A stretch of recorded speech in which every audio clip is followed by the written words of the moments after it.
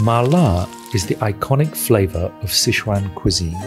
La refers to the burning heat from hot chili peppers, but ma is the delightful tingling sensation from Sichuan pepper, hua jiao, that is novel to world foodies.